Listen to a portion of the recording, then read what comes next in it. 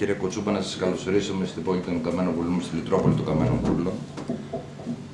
Να καλωσορίσω και το κοινό σας, το κοινό μας δηλαδή, που είναι για όφελος όλων. Να σας ευχηθώ ολόψυχα καλή επιτυχία στις εκλογές και στους υποψηφίους του κόμματος εδώ στο νομό Φθιώτιδος και πιστεύω αν και δεν ανήκουμε στην ίδια παράταξη, ένα ισχυρό κουκουέ φέρνει καλύτερα αποτελέσματα για την Ελλάδα.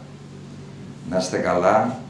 Ε, το πρόβλημα με τις ε, πηγές της Λουτρόπολης των Καμενοβούλων είναι εδώ και 30-40 χρόνια και όσο περνάνε τα χρόνια, κύριε Γραμματέα, γίνεται και χειρότερο γιατί δεν έχουν αξιοποιηθεί ακόμη όπως θα έπρεπε να έχουν αξιοποιηθεί. Κάνουμε το πρώτο βήμα εμείς στη πηγή που μας ανήκει στο Δημαρχείο δίπλα του Καμένου Βούλων που έχει αναγνωριστεί και είναι πηγή, δημοτική πηγή και έτσι ώστε μπορούμε να την αξιοποιήσουμε άμεσα και καταθέτουμε εντός του μηνός έχουμε έτοιμη μελέτη για χρηματοδότηση για να δούμε τι, πώς μπορούμε να την αξιοποιήσουμε και να την δώσουμε για πλήσεις και λούσεις στον κόσμο δωρεάν.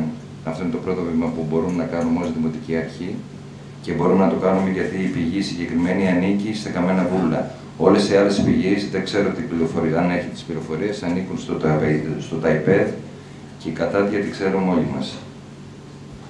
Δυστυχώς δεν δουλεύουν όπως θα έπρεπε να δουλεύουν. Και δυστυχώς λεγόμαστε Λετρόπολη χωρί να είμαστε Λετρόπολη. Ευχαριστώ πολύ. Να είστε καλά, καλή επιτυχία στις εκλογές.